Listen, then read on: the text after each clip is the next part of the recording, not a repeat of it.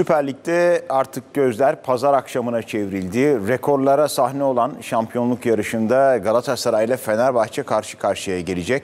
Derbinin hakemi de belli oldu. Ayrıntılar Gürkan Akta. Gürkan.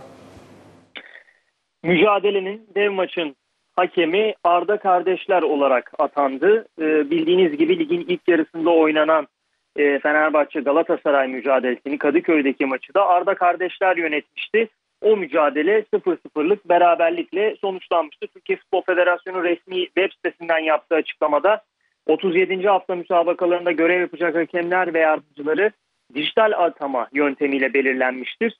19 Mayıs pazar günü oynanacak olan Galatasaray Fenerbahçe müsabakasının hakem ve yardımcıları ise manuel olarak atanmıştır. Duyurusuyla maçın hakemlerini paylaştı ki Arda kardeşlerin e, yardımcılıklarını e, Mehmet Emin Tuğral ve Süleyman Özay yapıyor ve dördüncü hakemde Direnç Tonusluoğlu olacak.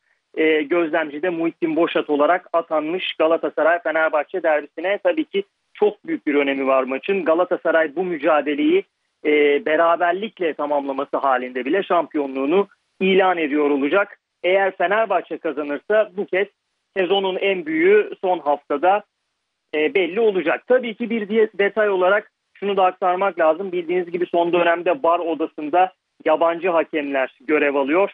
Dolayısıyla bu önemli müsabakada da yine yabancı var hakeminin görev yapmasını e, bekliyoruz ki genelde maç günlerinde sabah saatlerinde e, yabancı e, var hakeminin açıklandığını gördük bugüne dek. Yine benzer bir uygulamanın maç gününde yabancı var hakeminin de açıklanmasını bekliyoruz.